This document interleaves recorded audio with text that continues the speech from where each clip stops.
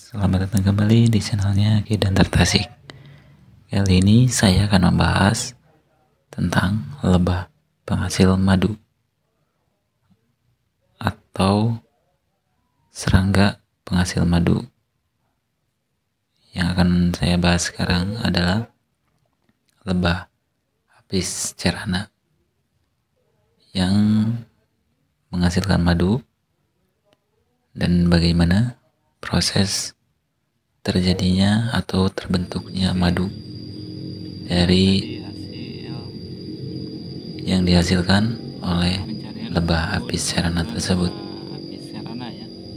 Ini bagian madunya dan di sini juga terdapat larva juga ataupun telur-telur dari lebah apis serana tersebut.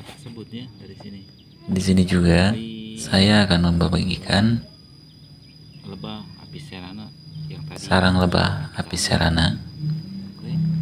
Dan biasanya apis serana akan bersarang di lubang-lubang ataupun di tempat-tempat yang tidak mudah ditemukan oleh predator-predator lainnya.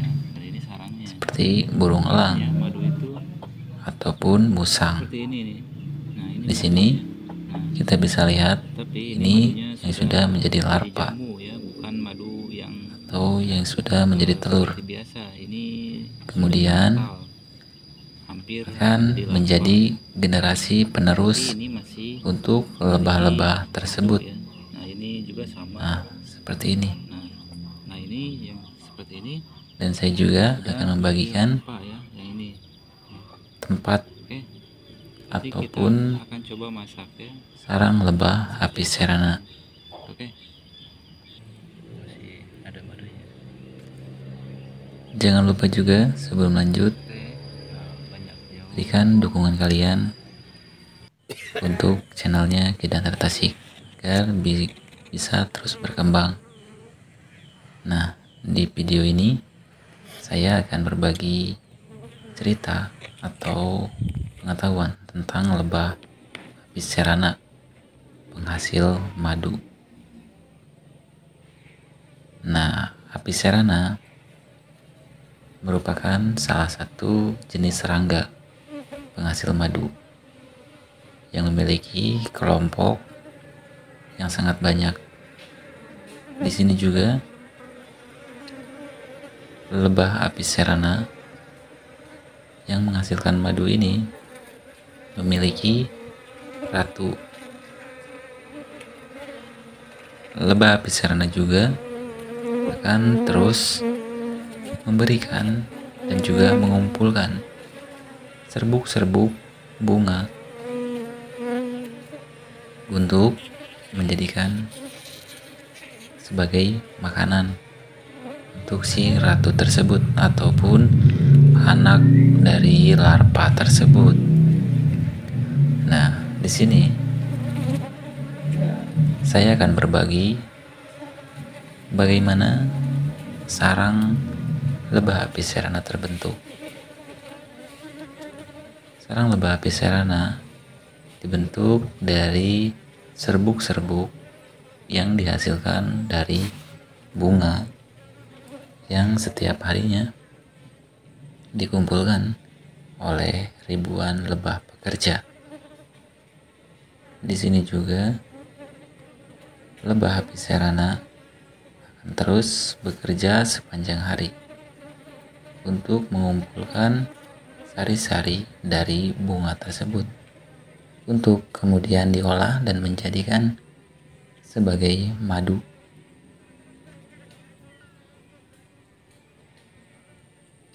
Selanjutnya, lebah apis serana juga sering bersarang di lubang-lubang ataupun di bebatuan. Kenapa demikian? Agar sarangnya itu tetap aman dan juga tidak ditemukan oleh predator-predator lainnya seperti musang dan juga burung elang. Tetapi sarang lebah apis serana juga sangatlah sering sekali bersarang di pepohonan yang sudah tua ataupun berlubang. Sengatan api cerana juga sangatlah menyakitkan. Dan jika kita terkena oleh sengatan apis cerana itu akan mendampak ataupun menimbulkan bengkak dan juga rasa sakit. Dan uniknya, lebah apis cerana ataupun lebah apis dorsata jika sudah menyengat itu akan meninggalkan bagian ekornya itu di kulit kita ataupun di tubuh kita untuk mendeteksi ataupun menandai itu sebagai ancaman untuk kawanan ataupun kelompok lebah tersebut entah itu lebah apis cerana ataupun lebah apis dorsata dan kemudian lebah tersebut akan mati jika sudah menyengat ke tubuh kita ataupun ke hewan yang lainnya. Kenapa demikian? Karena bagian ekor tersebut akan patah dan lebah. Apis serana ataupun lebah apis dorsata itu akan mati. Dan di sinilah keunikan dari lebah penghasil madu tersebut. Mereka akan berjuang melindungi sang ratu. Dan jika sang ratu pergi ataupun merasa terancam ataupun terganggu, mereka akan pergi dan pindah ke tempat yang lain untuk memilih tempat yang tentunya jauh lebih aman dan juga lebih nyaman untuk sang ratu lebah dan lebah-lebah pekerja akan mengikuti ke mana pun ratu lebah pergi.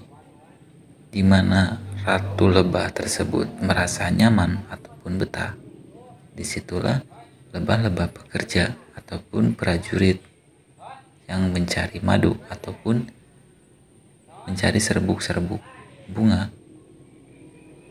akan bertahan dan akan setia memberi makan sang ratu tersebut dan anak-anak dari mereka yaitu larva ataupun telur-telur yang dihasilkan oleh lebah-lebah pekerja.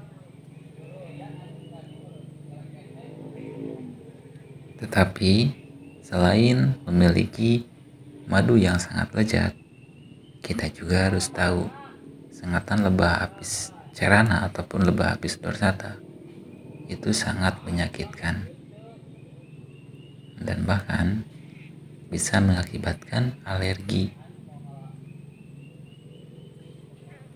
Dan jika tubuh seseorang memiliki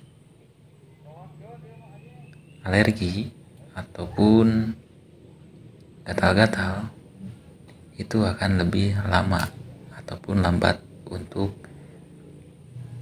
sembuh ataupun sulit untuk mengobati luka dari sengatan lebah tersebut. Dan jika kalian ataupun siapa pun yang disengat lebah, kalian tinggal ambil bagian telurnya, lalu oleskan ke tangan yang disengat tersebut. Dan itu cara yang sederhana untuk mengurangi rasa sakit dan mengurangi rasa bengkak. Jika kita disengat oleh salah satu lebah apis cerana ataupun lebah apis dorsata. Dan lebah apis dorsata juga memiliki koloni yang sangat besar. Sehingga madu yang dihasilkannya pun sangatlah banyak. Dan juga madu tersebut sangatlah sehat untuk diri kita dan juga orang-orang yang selalu mengkonsumsi madu tersebut Tapi kita juga harus tahu risiko terbesar dari pengambilan lebah ataupun madu lebah itu adalah disengat. Dan sengatan lebah habis serana ataupun lebah habis dorsata itu sangat menyakitkan.